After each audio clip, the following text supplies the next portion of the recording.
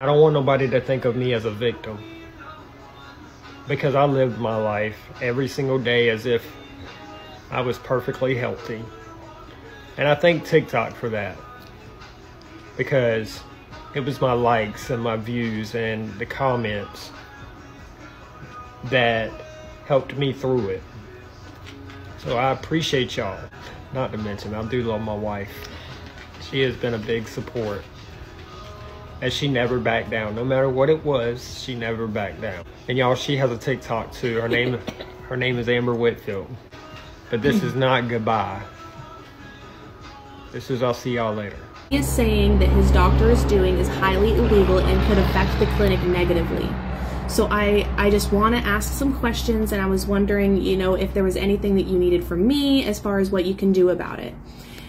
They confirmed with me that he hadn't had a point, an appointment with the doctor he claims to see since November of 2021. Wow. I mean, I don't even know what to say about this story. It was unfolding over the weekend, and I was keeping a very close tab on it, including the lives that were also going on. Six months to live because the cancer was, was spreading faster than expected.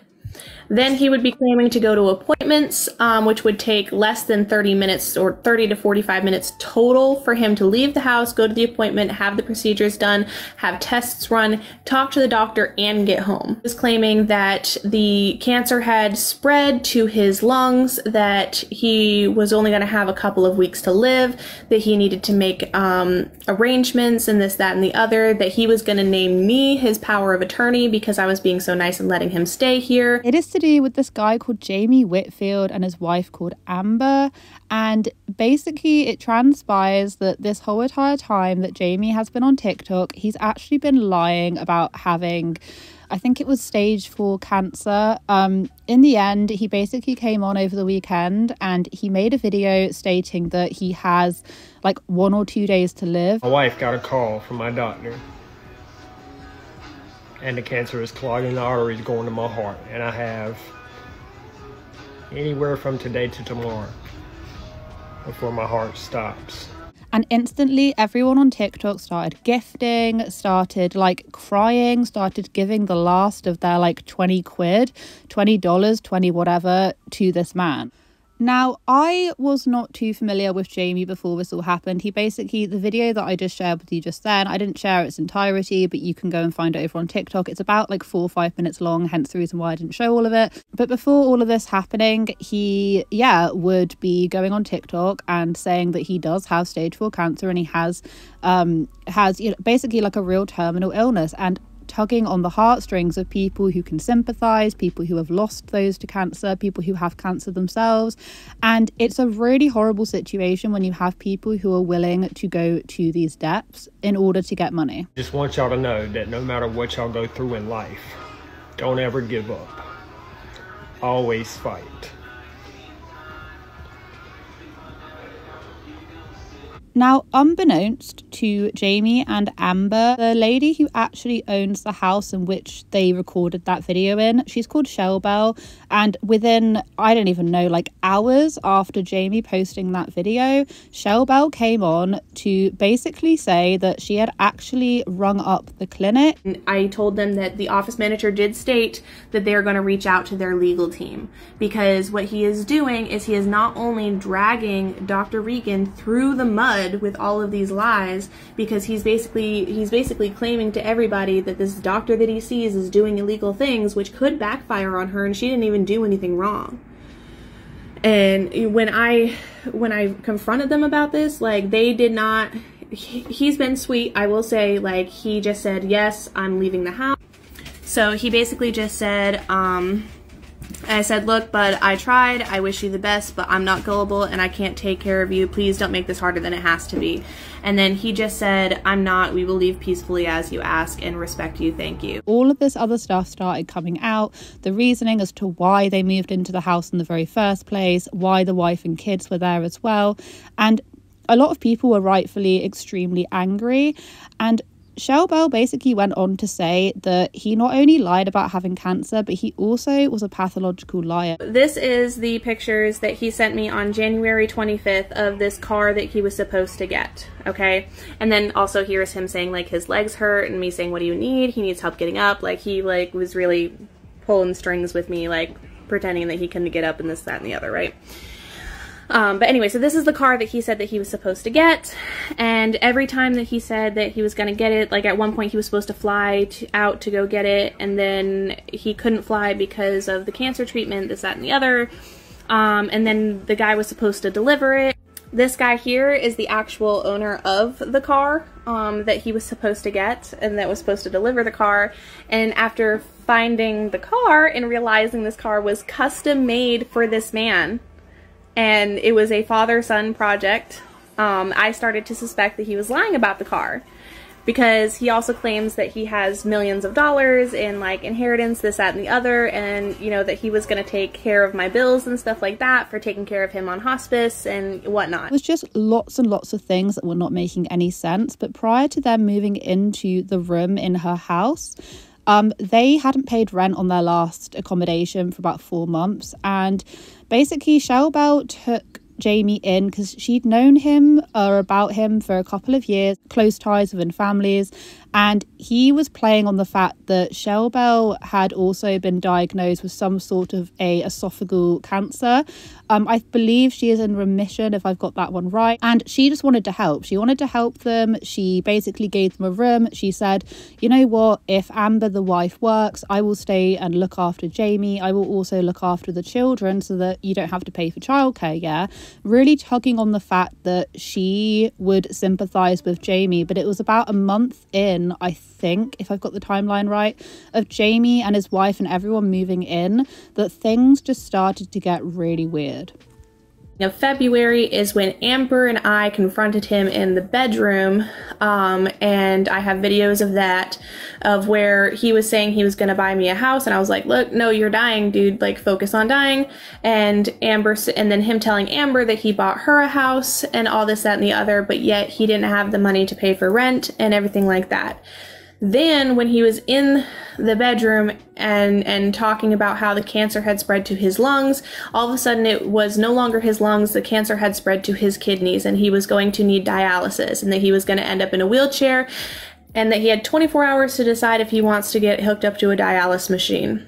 Then, two days later, two day, two days later, it was um, oh no, I could, the doctor said now I can have chemo. Then it was, I can't have chemo because the hole in my heart got bigger. Now, to make matters even stranger, um, Shell had actually sat Jamie down with his wife to confront Jamie on the fact that things were not making sense. And um, she actually does share some of those leaked audios.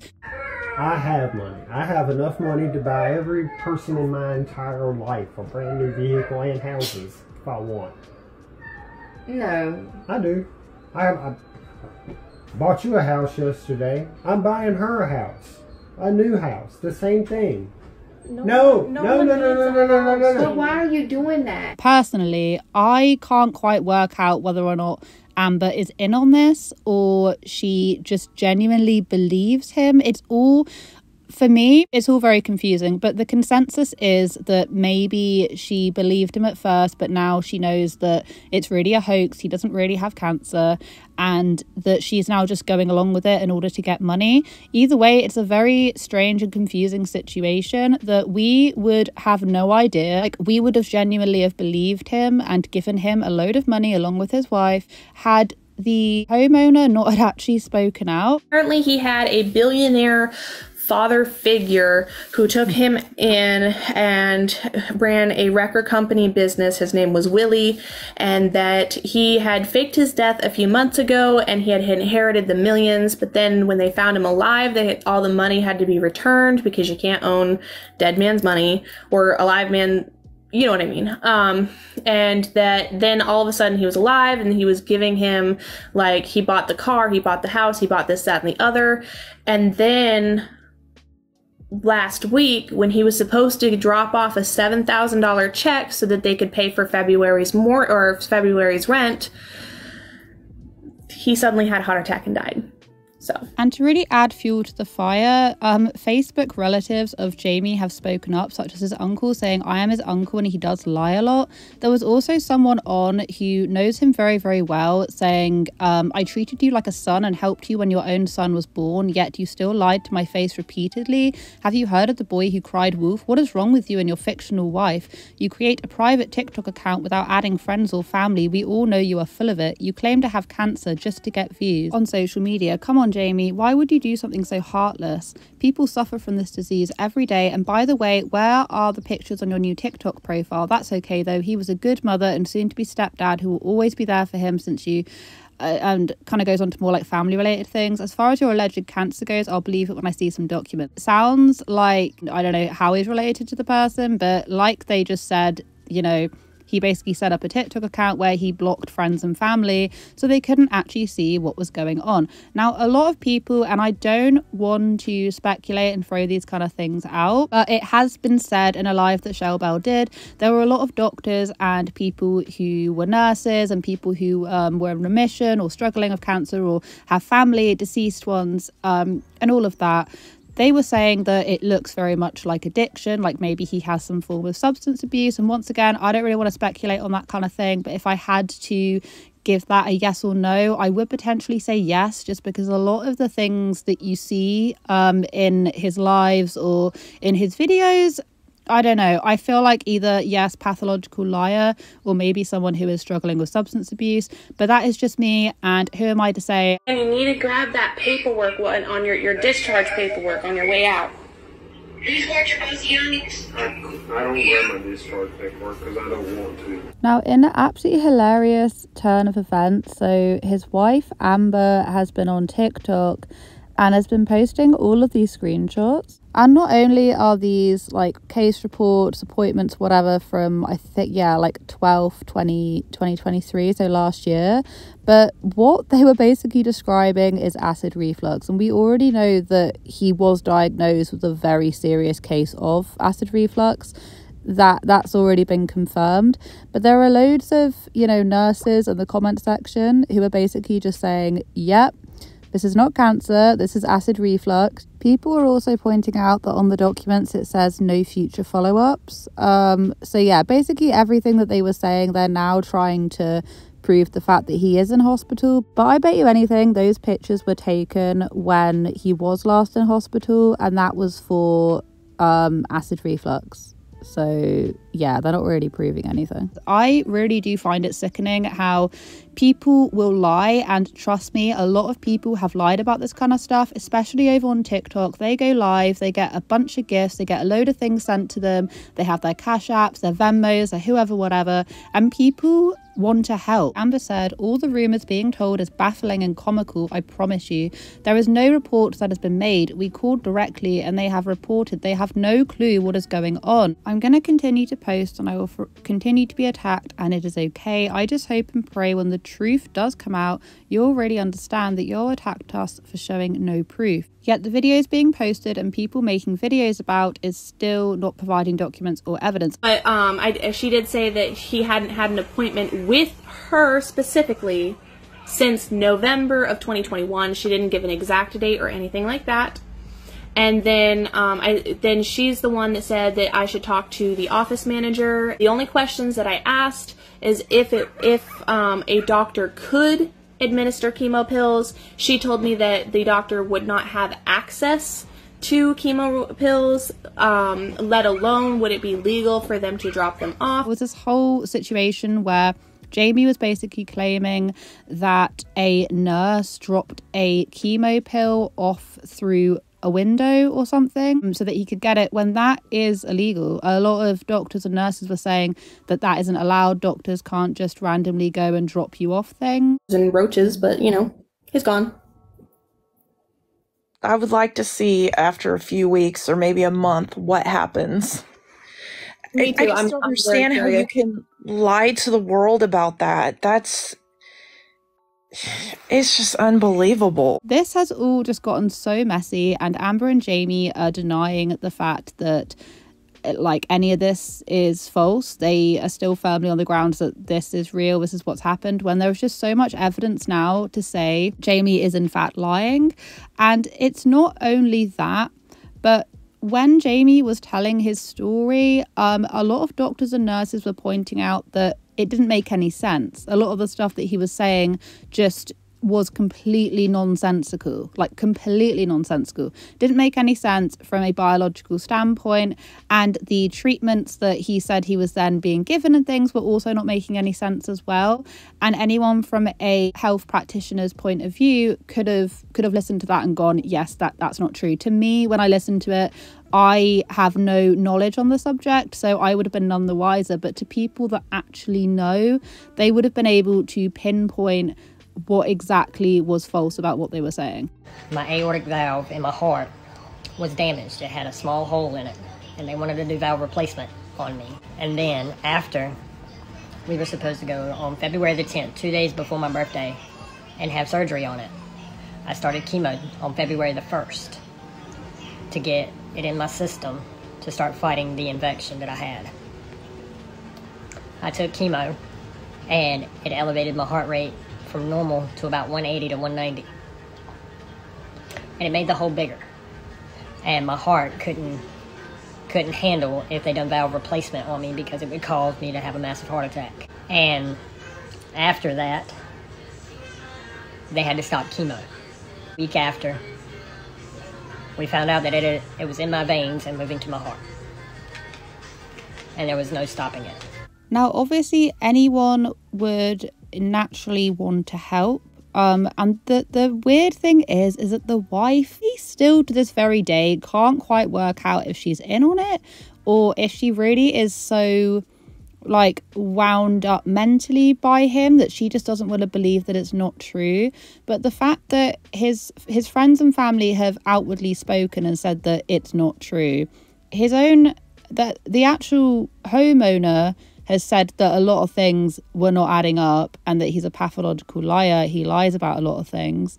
And you know he has been asked to leave. The whole thing is just incredibly fishy. And i really can't quite work out if amber even know like i don't know. I really don't know. I to be honest with you i kind of feel like she does know but she's just playing along with it. But either that or she's a really good actress because you would have thought that they were being serious there because of the way that she was reacting to what he was saying Again, January 30th, I think he's fucking with me, like playing with my emotions, poor me, car for a place to stay, because he did offer me another truck because he didn't end up getting his dad's, this, that, and the other. And, you know, this is where, you know, I had first started putting things together. But I do find this absolutely mind-boggling that that basically Jamie had moved in in January. It's not even March yet, and all of this had happened. You think that people like this like to play on the goodness of other people, such as them, you know, making up all of this stuff for such a long time for the sake of getting money over on TikTok, you know, lying to the homeowner to the point where she is willing to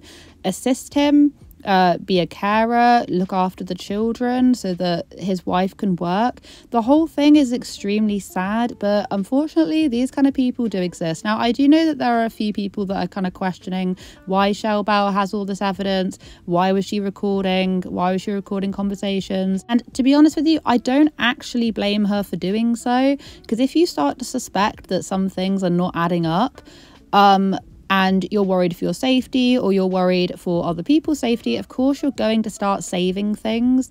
Um, I don't think that that is a strange thing to do. I think if people have been stuck in very toxic situations within their own home, they do start to take screenshots, take recordings, amount evidence because people like that can it can like literally feel like you're going crazy. Like it can literally feel like you're going crazy and unless you actually keep the evidence you are just gonna like they'll end up gaslighting you into thinking things are real when really they're not.